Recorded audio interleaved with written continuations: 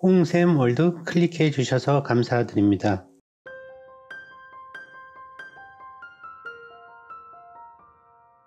종합병원에 걸려있는 기도문 조은글 하나님 때때로 병들게 하심을 감사합니다.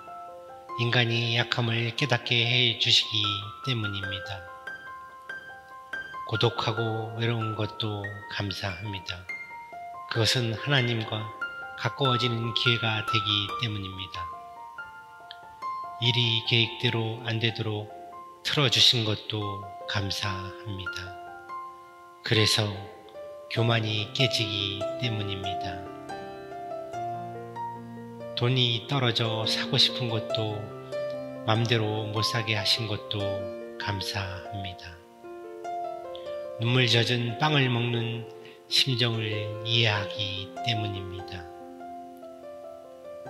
자식들이 공부를 기대만큼 안 하고 아내가 미워지고 부모 형제가 짐스러워질 때도 감사합니다. 그래서 그들이 저의 우상이 되지 않게 하기 때문입니다. 때로는 허물을 느끼게 하고 때로는 몸이 늙고 아프게 하심도 감사합니다.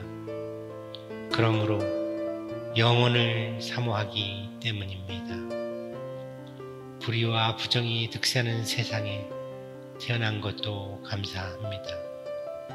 하나님의 의를 사모하기 때문입니다. 제게 잘못하고 저를 비방하는 사람들이 있게 하심도 감사합니다.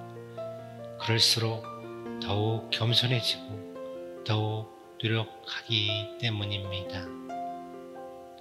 오늘 밤 잠 못 이루고 뒤척이게 하신 것도 감사합니다. 그래서 병들고 고통받는 이웃들을 위해 기도할 수 있기 때문입니다.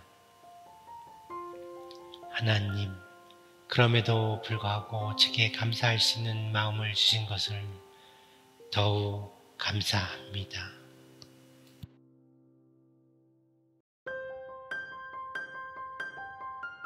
다음 부분은 여러분이 직접 마음으로 읽어보는 시간입니다. 자막만 나가고 낭독은 여러분이 직접